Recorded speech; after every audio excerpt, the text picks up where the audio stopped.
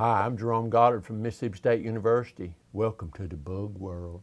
So today I thought we would just talk about some facts and fables about bugs. How about that? This is true or false? Small scorpions are sometimes a whole lot more deadly than the big giant ones big as your hand. That's actually true.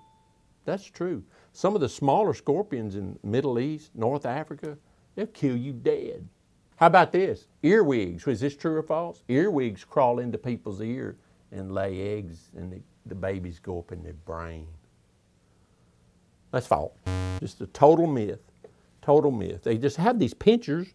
We'll show you one. They've got pinchers, but they don't go in your ear and they don't go in your brain. How about this? True or false? Cockroaches can live for days without their head. That's true they can live like for four or five days with their head chopped off. They walk around. Now, I don't know, I guess they can't eat a Twinkie or something, but they, they, are alive. How about this? The American funnel web spiders, true or false? The American funnel web spiders are not venomous like the famous ones in Australia.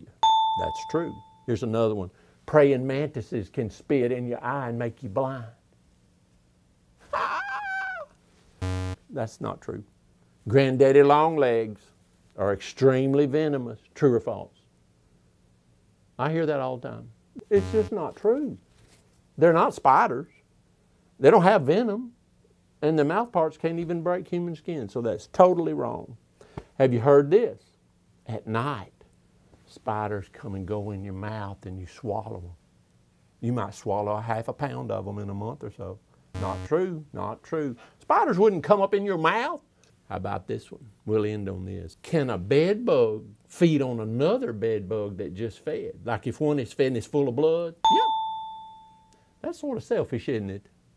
Thank you for coming to the bug world today.